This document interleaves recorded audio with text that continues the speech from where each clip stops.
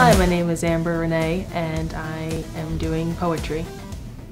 Puffs of soul that won't come back are silent little screams of sleep like songs at night that seem to seep into the thoughts. Control your mind with dancing picture and haunting rhyme. I think I've always been writing poetry since I was in about fifth grade, uh, when I really started getting into it. Probably music. I was really into lyrics, and that kind of, I started writing lyrics, and that's what I called them until I realized that it could be poetry too. You don't know. An existence by any other name would smell as sweet. For in saying light, you ascribe to the universe the idea of order and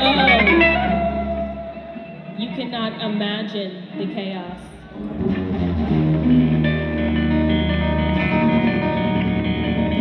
It's a lot from my life, and uh,